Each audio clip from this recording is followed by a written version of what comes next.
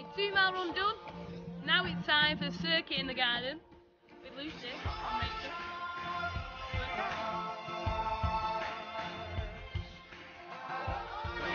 Go.